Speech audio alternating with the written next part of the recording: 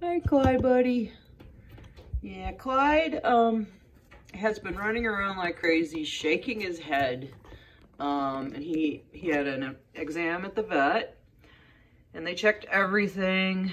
And what they found was they took an ear swab, a couple ear swabs, and took it back to the microscope. And he has a bacterial ear infection. So he's going to have enrofloxacin. So if you see your guinea pig shaking his head, it could be ear mites. It could be parasites. It could be um, something stuck in there. Yeah, I see you've got a piece of pine on there. I'm sorry, buddy.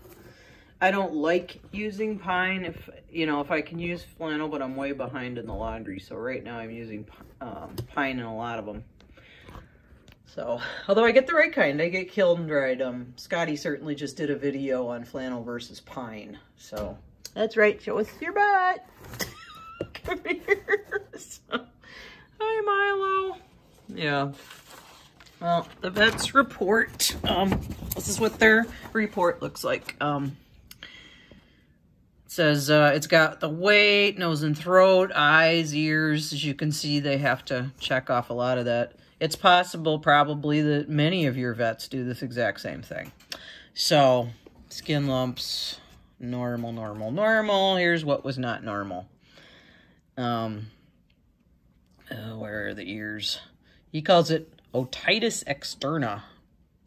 So, obviously, external ear infection. Ears, here we go. Abnormal ear swab, moderate waxy debris in both ears. Bacteria and yeast infection seen. I assume bilaterally means under the scope. So he's going to get enrofloxacin once. That's a pretty high dose. Every 24 hours for 21 days. So, and clean his ears every day, which I, wow, you know, probably at least once a week long term. So, that's, uh, yeah, hi Milo. So now I'll know if somebody's shaking his head and going crazy. You know, it's it might be an ear infection, right, Elsa? She says, I'm stepping on that diagnosis. Yep, that's what I'm doing.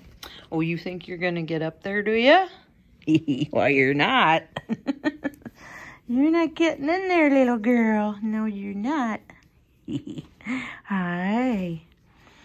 Okay, so that's what's going on with him. So sometimes guinea pigs do get an ear infection for uh, whatever.